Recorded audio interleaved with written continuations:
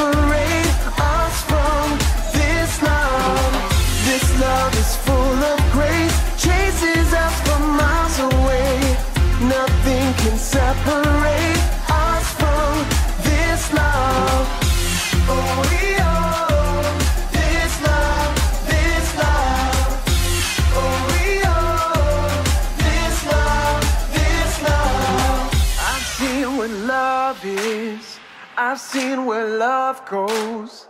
I've seen what love does. It changes everything.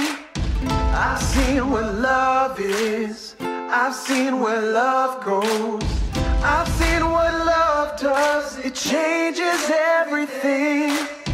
I've seen what love is. I've seen where love goes. I've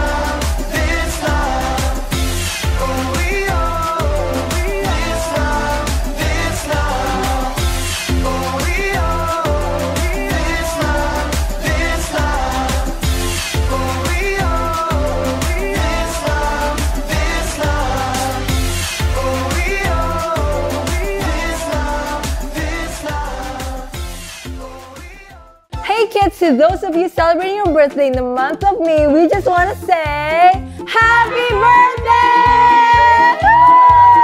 We love you! Hi kids, welcome to Young. I'm Miss Bebet and I'm so excited to be here with you today. Have you ever trained or prepared yourself for something before? Maybe a music recital or a sports competition, or maybe even, even an exam in school. You would need a lot of practice to prepare yourself for it, right? Every day you would need time to study or time to train so that when the time comes, you will be ready. Well, today's lesson, Apostle Paul talks about training for a particular type of race. Now, before we check it out, let's pray. Dear God, thank you so much for gathering us here today. Please let us learn your word and listen to the Apostle Paul, Lord Jesus. Let this lesson keep in our hearts forever. In the name of you we pray, amen. The Bible. It's 66 books of history, stories, letters, and poetry that fit together to form God's one big story. The epic adventure of how He created us and loves us so much that He made a way to rescue us. As we travel through the Bible, from Genesis to Revelation, we discover people who met God and found their lives changed forever. Now, for an amazing story inspired by the book of 1 Corinthians, chapter 9, verses 24 through 25. Did you know that some writers of the Bible talk sports? Well, not every sport, but at least one that you are familiar with. Yep, running. Running has been around ever since, well, since God created people. In fact, the Apostle Paul uses running as an example in one of his letters to the church in Corinth. In a race, all the runners run, but only one gets the prize. You know that, don't you? So run in a way that will get you the prize. Now, Paul is talking about more here than just running, but first you have to understand what it takes to run a long race. Let's say you want to run a marathon. That's 26.2 miles. There's no way you can just hop up off the sofa where you've been playing video games for months and run that far. So, you need a plan. When I was preparing for my first marathon, I found this plan. I started training more than four months ahead of the race, and I started with just a few miles at a time. Once you've got a plan, well, then you gotta move. That means short runs, long runs, and cross training to work other muscles and prevent injury. Next up, you've got to fuel. Plenty of water, of course. Plus, you need healthy carbs for your long runs like bananas. And maybe some spaghetti and meatballs. Mmm. Mmm. What's the last part of your training? Get ready for it. Rest. if you don't rest and let your body recover, you'll get burnt out or injured. The last few days before a marathon, you don't even run at all. Oh, yeah. Running a long race is no joke. But Paul says what we're doing right now, you and me, is even more important. All who take part in the games train hard. They do it to get a crown that will not last. But we do it to get a crown that will last forever. So I do not run like someone who doesn't run toward the finish line. I do not fight like a boxer who hits nothing but air. Paul packs a lot of weight into just a few sentences. Whether you planned it or not, we are all running a race right now. Okay, so that's a little crazy. Clearly, I'm standing here talking to you, and you aren't outside running laps either. But Paula is talking about a way of life, a journey. We're all focused on the finish line, life forever with Jesus, but in the meantime, every step along the way is important as we live out what matters most. Jesus reminded his followers Love the Lord your God with all your heart and with all your soul. Love him with all your mind. Love your neighbor as you love yourself. Yep, love God, love others. That's what matters on this journey together. But just like you can't skip from jogging one lap around the school gym to running a 26.2 mile race, you're gonna need some practice. Your Love God, Love Others marathon needs a training plan. Now, none of us have it all figured out, but here are four important things to start with. In fact, you may already be doing some of them. First point hear. God is the master teller of this amazing story. He's the author of this whole race, so the most important thing is learning to hear from God. That means digging into God's Word and hearing the stories and wisdom from people who walked with Him. And you can also hear from God from people around you in your life who know and follow Him. Now, here's the second step in training for our Love God, Love Others marathon pray.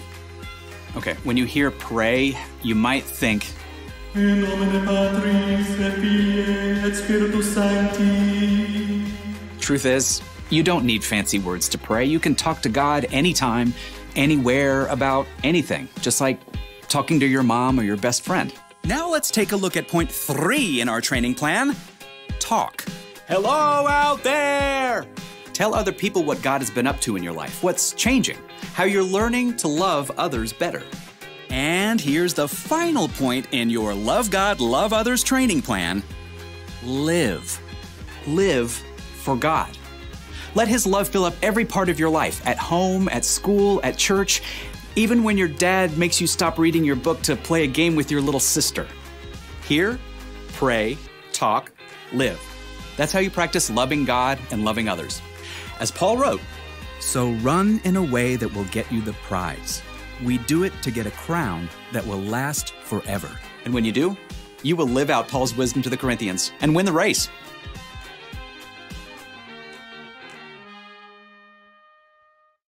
So, Apostle Paul talked about training for a race. But this race is more than just racing competition, it's about life. Sometimes life can feel like a race. That's why we have to train for it and make a commitment to practice what matters most. Jesus taught us what matters most is to love God and love people. It may sound easy, but loving people can be hard sometimes. That's when we have to rely on God's strength and not our own. Now, let's go to our key passage. today's key passage is taken from Matthew 22, verse 37 to 39.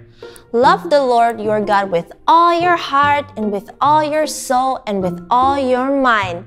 Love your neighbor as yourself. Let's say together one more time. Love the Lord your God with all your heart and with all your soul and with all your mind. Love your neighbor as yourself.